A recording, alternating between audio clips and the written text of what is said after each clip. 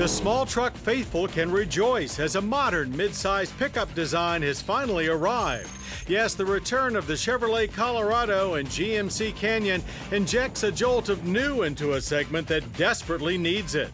Launch engines are 200 horsepower 2.5 liter i4 and a 3.6 liter 305 horsepower V6. A turbo diesel comes next year.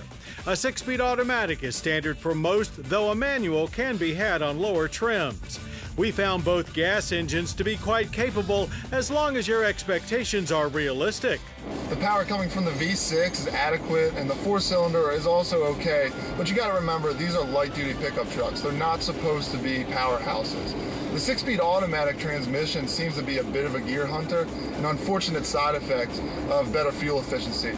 Following the full-size Silverado and Sierra, innovations like active grille shutters and direct injection are passed on to Colorado and Canyon, and a maximum tow rating of 7,000 pounds backs up that bigger truck mentality. Modern gauges and MyLink and IntelliLink systems also trickle down. Available now, the 2015 Chevrolet Colorado starts around $21,000, with the better equipped GMC Canyon about a grand more.